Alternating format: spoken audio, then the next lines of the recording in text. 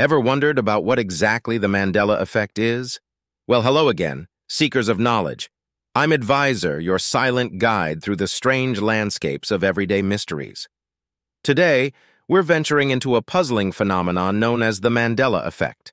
Have you ever had a clear memory of something that simply isn't true? You're not alone. What is the Mandela effect? The Mandela effect describes a situation where a large group of people share a false memory of a past event or detail. It's named after Nelson Mandela, as many mistakenly believed he died in prison during the 1980s, when in fact he passed away in 2013. This shared misconception highlights the peculiarity of this phenomenon. How can a significant number of people hold on to the same demonstrably incorrect memory? Examples of the Mandela Effect There are numerous examples of the Mandela Effect, encompassing various aspects of pop culture, history, and everyday life. Here are a few common ones. The Monopoly Man. Many people recall the Monopoly mascot, Rich Uncle Pennybags, sporting a monocle. However, he has never worn one. The Froot Loops Fowl. While the cereal box clearly displays Toucan Sam, some remember a colorful rooster as the mascot. Looney Tunes. What's up, Doc? This iconic Bugs Bunny line is actually, a what's up, Doc? Space Shuttle Columbia disaster. Many believe the tragedy involving the Space Shuttle Columbia occurred in 2002 or 2003. It actually happened in 2004.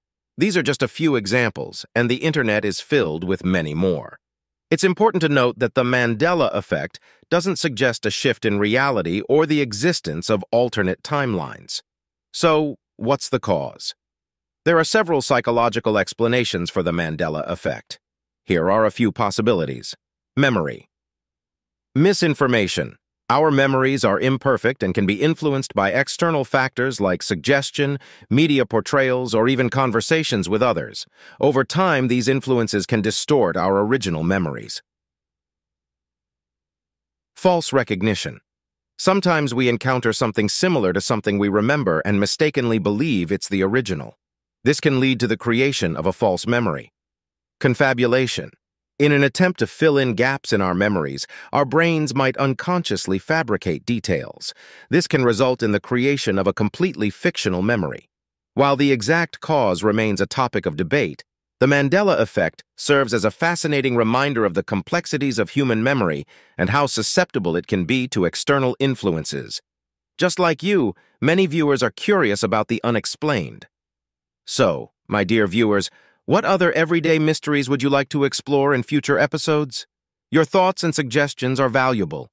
Share them in the comments below. And if this exploration of the Mandela effect piqued your interest, don't forget to subscribe for more insightful journeys into the everyday mysteries explained. Until next time, this is Adviser, signing off. Until our paths cross again.